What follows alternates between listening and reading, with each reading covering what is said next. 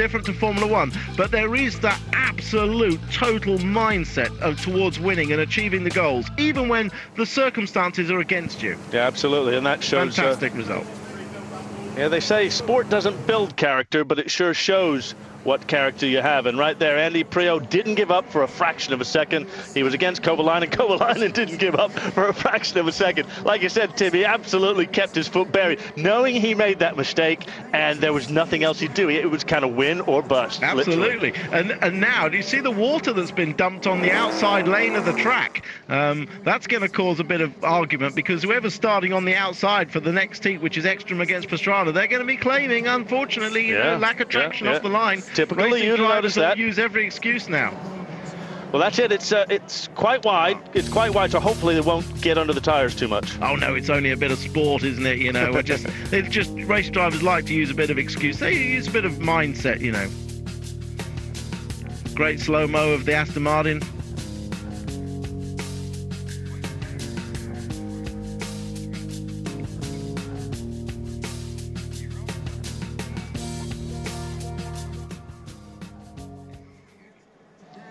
Well, there we are. Autographs aplenty. This, Tim, is one of the events where the fans can really get close and, and get autographs. Literally physically close to the action, but physically close to the drivers. Obviously, there's like a driver's lounge area, otherwise, uh, uh, where not everyone can get to. Otherwise, they wouldn't they wouldn't be able to move. But uh, they're out and about a lot more than you'd think, and uh, the fans are really enjoying seeing these guys at close quarters. Yeah, and these guys enjoy it as well because um, you know this is this is a chance for them to race not under pressure, and don't they appear to really enjoy it?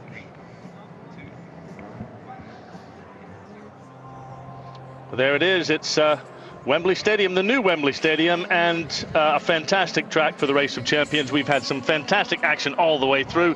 Schumi is uh, still with us. Sebastian Bourdais is still with us. Andy Priaulx is still with us. But it's going to be a battle in a few moments, Tim, between the defending champion, Ekstrom, versus Travis Pastrana. Yeah, this is for the last spot in the semi-final lineup. So uh, a great lineup, actually. Matthias Ekstrom, the uh, DTM driver. There you see him in car with a tribute to Colin McRae on his crash helmet. Sadly missed at this event. And Travis Pastrana, the extrovert, bike racer, rally rally driver, stuntman, you name it, he does it.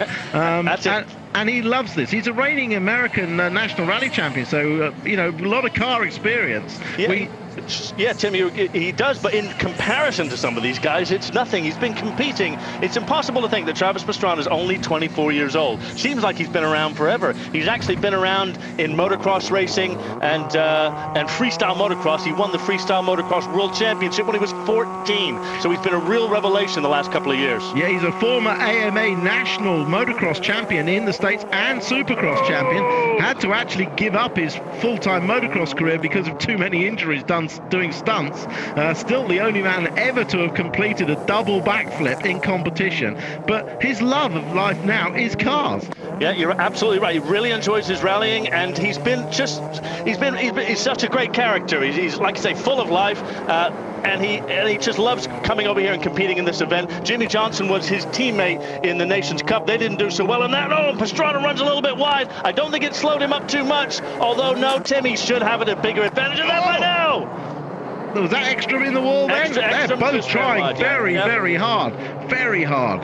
That's that, there's Ekstrom, but I mean, wow, these guys really want a place in that semi-final, don't they? Absolutely. Matthias Ekstrom, two-time DTM champion. Well, if you win that championship once, you're pretty special. You win it more than once, that's exceptional. So he certainly knows how to drive. He's the defending champion of champions in the race in the ROC, and Matthias Ekstrom has well taken a big lead on Travis well in front. Yeah, Travis is going to go for broke now.